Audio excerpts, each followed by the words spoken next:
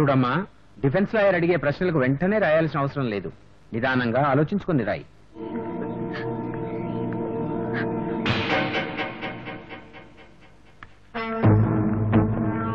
Your honour వసంత తనకు జరిగిన అన్యాయాన్ని బొమ్మలతో చూపించేందుకు మీ అనుమతిని కోరుతున్నాను. డిఫెన్స్ వారికి అభ్యంతరం ఉండదనుకుంటాను. లేదు. చెప్పిన రాసిన బొమ్మలతో చూపించిన ఏ అభ్యంతరం లేదు. దెన్ ప్రొసీడ్ అమ్మా వసంత ఆ రాత్రి ఏం జరిగిందో? ఈ బొమ్మలను ఉపయోగించి చెప్పమ్మా అబ్జెక్షన్ ఎవరు అన్నారు ఫిర్యాది బొమ్మలు గీసి చూపిస్తుందనుకున్నాను గాని ఇలా బొమ్మలతో చూపిస్తుందని నేను అనుకోలేదు. మీరు ఏమనుకున్నారన్నది ముఖ్యం కాదు. ఏమన్నారన్నదే ఇక్కడ ప్రధానం. కానీ ఆ బొమ్మల్ని చూడండి. ఆడబొమ్మ అందమైనది మగ బొమ్మలు వికృతమైనవి తెచ్చి ప్రాసిక్యూషన్ వారు క్లయింట్లు నలుగురు క్రూరులని ఫిర్యాది అమాయకురాలని ఇండైరెక్ట్ ఇన్ఫ్లుయెన్స్ చేయాలని చూస్తున్నారు. I object this. Objection overrule. అమ్మా వసంత ఆ బొమ్మల్ని ఉపయోగించి నీకు జరిగిందంతా చూపించు.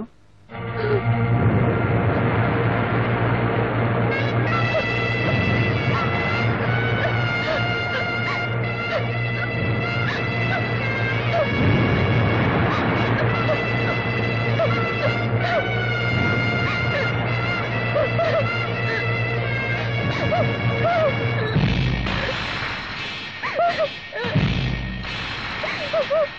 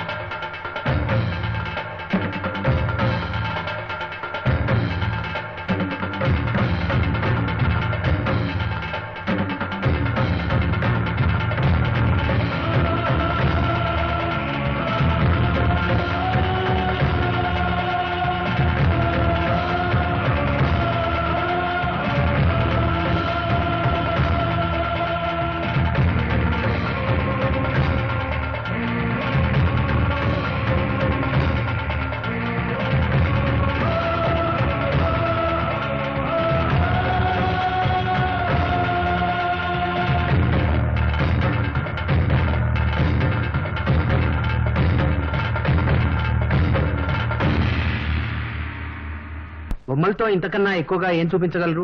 చెప్పండి. అందుకనే ఇంకా వివరాలు కోరుతున్నాను. గ్రాంటెడ్ అప్పుడు నీకు బాధ కలిగిందా? ఎక్కడ? అక్కడ అక్కడంటే?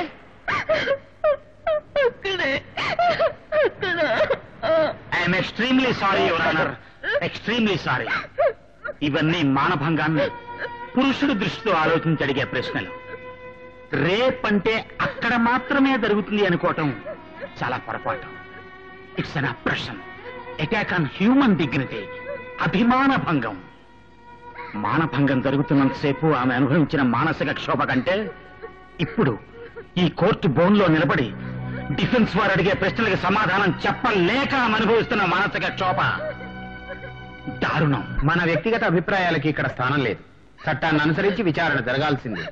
మీ క్రాస్ ఎగ్జామినేషన్ కానివ్వండి. ఏమ్మా అప్పుడు రాత్రి పది గంటలు చుట్టూ చీకటి. జరిగింది పాడుపడిన ఇంట్లో జరుగుతున్నంతసేపు నువ్వు కళ్ళు మూసుకున్నావు అవునా. అటువంటప్పుడు అది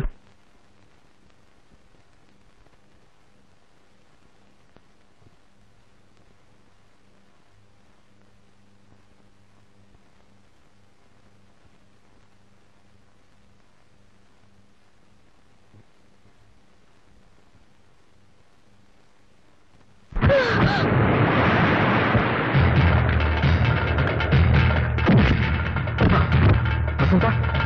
వసంత? వసంత? వసంత? డిఫెన్స్ లాయర్ పై దురుసుగా ప్రవర్తించిన నేరానికి పర్వతనేని శివని సాయంత్రం వరకు పోలీస్ కస్టడీలో ఉంచాల్సిందిగా ఆదేశిస్తున్నాను. ఈ ఆంతరింగ విచారణ జరుగుతుండగా అతను కోర్టులో ఉండే అనుమతిని కూడా రద్దు చేస్తున్నాను.